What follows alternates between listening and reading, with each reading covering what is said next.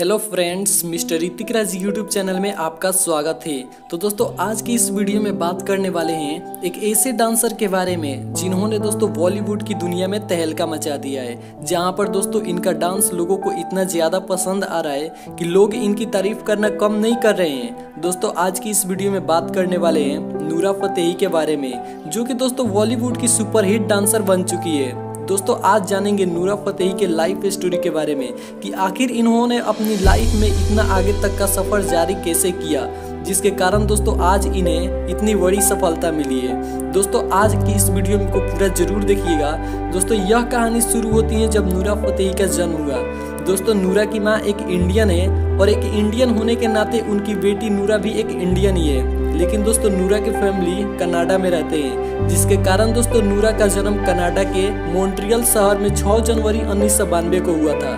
दोस्तों, नूरा फतेही को शुरू से ही म्यूज़िक और डांसिंग में काफ़ी ज़्यादा मन लगता था और डांस करना तो इनका शौक ही बन गया था। नूरा फतेही ने अपनी स्कूली पढ़ाई टोरंटो के West View Centennial Secondary School से पूरा की। हालाँकि दोस्तों, नूरा को पढ़ाई में ज़्यादा इंटरेस्ट ना होने के कारण उन्होंने अपनी पढ़ाई बीच में ही छोड़ दी। दोस्तों, नूरा को शुरू से ही एक एक्टर बनने का सपना था और इसलिए दोस्तों, इन्होंने इंटरनेट के माध्यम से डांस सीखना शुरू कर दिया।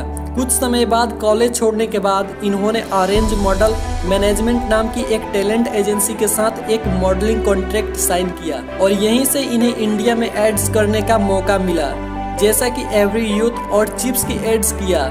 और ऐसे ही आगे बढ़ती गई। फिर दोस्तों, इन्हें पहली बार बॉलीवुड की एक फ़िल्म में काम करने का मौका मिला, जिस फ़िल्म का नाम था रोड टाइगर्स ऑफ़ सुंदरवन। हालाँकि उनकी यह मूवी बॉक्स ऑफ़िस पर इतना कमाल नहीं कर पाई, लेकिन उनकी एक्टिंग को क्रिटिक्स ने बहुत सराहा। और इसके बाद वह 2015 में तेलुगु सिनेमा की टेम्पर फ़िल्म में एक डांस में नज़र आई। दोस्तों, क्या आप इमरान हाशमी की फ़िल्म मिस्टर एक्स देखिए। दोस्तों, नूरा फतेही ने मिस्टर एक्स में भी एक डांस परफॉर्मेंस किए। दोस्तों, नूरा फतेही ने इतना सारे परफॉर्मेंस किया, डांस किया, लेकिन अभी तक इनको वह पॉपुलैरिटी नहीं मिली थी जो इनको चाहिए था। इसके बाद 2015 में नूरा फतेही बिग बॉस सीज़न 9 में दिसंबर में वाइल्ड कार्ड एंट्री के तौर पर नज़र आई। इसके बाद नूरा 2016 में झलक दिखलाजा और एंटरटेनमेंट की रात जैसे कई रियलिटी शोज़ में भी नज़र आई। जिससे धीरे धीरे उनकी पॉपुलैरिटी और बढ़ने लगी। और दोस्तों वह चीज़ जिसने नूरा फतेही को एक सेंसेशनल बना दिया। 1990 का गाना दिलवर। इस गाने में नूरा ने बैली डांस किया था। और YouTube पर अपलोड करने के बाद 24 घंटे के अंदर ही इस वीडियो पर 100 मिलियन व्यूज़ मिल गया।